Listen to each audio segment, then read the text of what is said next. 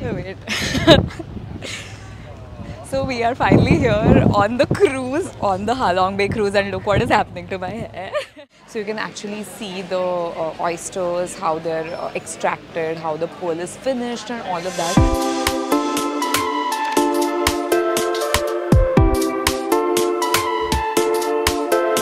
And the most surprising part about going to Surprising Cave is how There's crowded it is. is. There's literally a traffic jam over here. Hola, girls. Good morning. We are going on a day trip to Halong today. How are the spirits? spirits are pretty high, but I'm still getting up. I don't know about swimming, but yeah, my experience. I'm happy, but I can't wait to nap on the bus. I, I agree. That. Okay, so we are up and ready. We are waiting for our uh, bus to pick us up. So let me give you a quick lowdown on how you can book a Halong Bay tour, a one-day Halong Bay tour from Hanoi. Okay, so in the old quarter of Hanoi, you will find an insane number of tour and travel offices okay? Like literally every second shop in the old quarter is like a booking office where you can uh, you know plan a tour book a tour to halong bay or Cat Ba or Ninh Binh or wherever you want to go right? So uh, what you can do is uh, talk to a bunch of these offices. Uh, most of them have very very similar tour structures. So just find a person that's giving you the best deal. So i found this guy uh, again another like booking office in uh, the old quarter of Hanoi, and he uh, gave me a great deal. Uh, most of them have the same inclusions, so you don't really have to worry about that. Uh, and yeah, so they will basically take care of everything the pickup from your hotel, the entire cruise, the whole day that you spend on the cruise, and the drop off back to your hotel again is all taken care of by them for a set price. Uh, remember, all of them are open to bargaining a little bit, so never forget to haggle.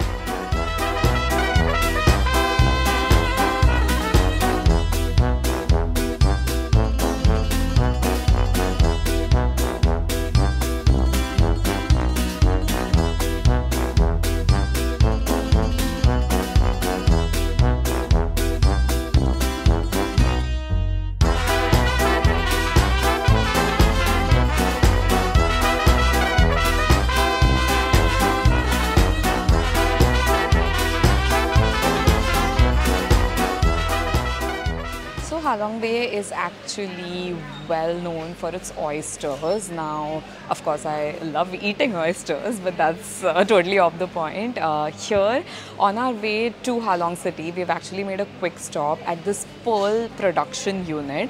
So basically, there's a lot of pearl, oyster pearl culture that happens uh, around the waters of Halong Bay. And here, actually, they have set up a unit where you can see the entire processing happening. So you can actually see the uh, oysters, how they're uh, extracted, how the pearl is finished, and all of that. So you can see all of these counters over here. There is information written about pearl culture. There are uh, you can actually see demonstration. People are you know cleaning, finishing, picking the pearls, and all of that. So it's a very very interesting uh, uh, place to visit. So if you're actually interested in knowing the details about pearl culture, uh, you should make a stop at this place for sure.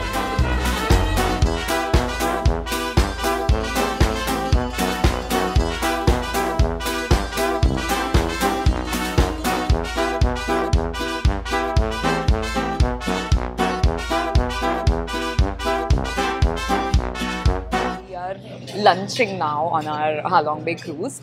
So the lunch uh, is a decentish spread, I would say. There's like watermelons, cucumbers, there's squid, there is some kind of chicken, there are I think spring rolls, there's some egg or tofu roll, there's shrimp, there's rice, and there's a couple of salads. Uh, so yeah, we are digging in. Everybody's lunching. So yeah, actually the cruise started at around like we boarded the cruise at like around 12 o'clock, and the first thing we're doing is lunching, and then after lunch we are going to be doing all the water activities.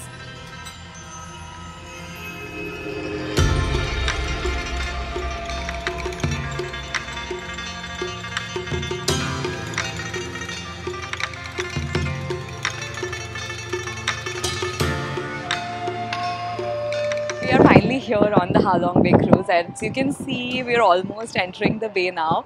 So, Halong uh, in Vietnamese stands for descending dragon. Uh, so, there is a legend about a dragon that descended here. Uh, this particular bay has thousands of limestone mountains. So, you can see these tiny little islands. There are all these tiny, tiny limestone mountains that are spread out all across the bay. It's a UNESCO World Heritage Site, and uh, when you're here in Vietnam, thing you cannot miss out on. So I've heard a lot about this, but it's the first time I'm witnessing this, guys. There is so much trash on the waters of Halong Bay. Like it's really heartbreaking. Like it's really heartbreaking to see. I can see like packets of chips. I can see plastic water bottles. I can see like you name the piece of trash and I can see it here on this water. Can we please be a little mindful of not littering such beautiful, you know, locations? Like it's really heartbreaking to see. Although i'm glad that the vietnam government has now taken an initiative and they've, they've completely banned the use of single use plastics on the halong bay water. So basically you can't even carry um, plastic water bottles here. So be mindful of that. Please whenever you visit make sure even if you have some plastic trash on you please don't throw it in the water back with you and throw it in a proper dustbin all right, so we have actually docked on the island now, and uh, so there are a couple of options uh, for you. Uh, you can either walk around, explore the island, have some coconut water, chill, and all that. If you want to swim, you can go in the water, swim, uh, you know, take a dip in the water, or you can go hike to the top of the island, which is supposed to give you a good view. So I have chosen to hike.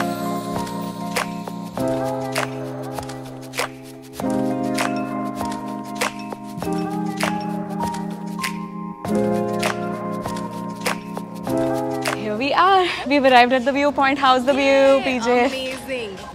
Too good. Worth the hike? Worth the hike. Absolutely. Yeah, worth it for sure. Well, this is the view after the short, like I think it was like a 10 minute hike. Um, if you're coming on this uh, Halong Bay tour to what is this island called? It's the Titop Island or something. I would suggest go for the hike. Um, the swimming is also fine, but it was too crowded. The waters were too crowded. Didn't really feel like going for a swim. The hike, on the other hand, gives you a really, really beautiful view, like almost a panoramic view of the bay. Uh, the bay looks uh, very, very similar to Lan Ha Bay, except for the fact that it's a lot more crowded and a lot more touristy than Lan Ha. So if I would still have to pick, I would pick Lan Ha Bay because it's cheaper, it's much less touristy, it's much more beautiful and clean. But uh, nonetheless, Halong Bay is beautiful. I also love how the uh, clouds have a significant impact on the color of the water. So wherever there is cloud cover, you can see the water changes color. So it's like grey or green, and then the other uh, the other waters have a totally different color. I love the play that uh, the overcast sky has on the bay waters. Going for the next activity, kayaking.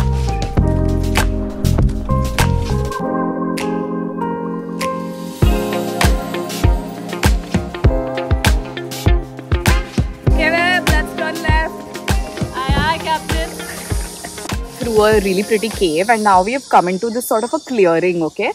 And uh, all the sides you're surrounded by these beautiful typical halong limestone mountains and in the middle of that there's a clearing with bay waters and you just sort of kayak uh, you know leisurely through that. It's a very very nice experience.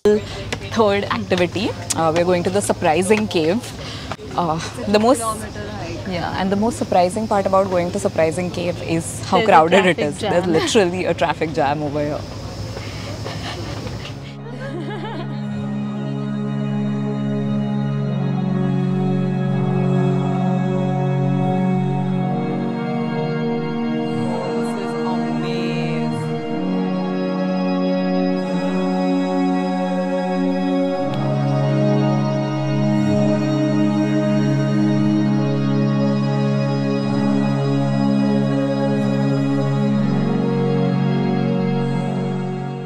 Initially, we were kind of disappointed because of the crowd, but it is amazing, guys. Like it just gets better and better. It looks like it's not Earth, yeah, yeah.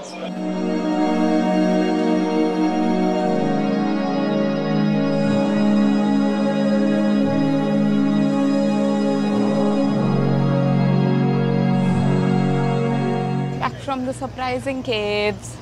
It was awesome. Now we are going back to the cruise.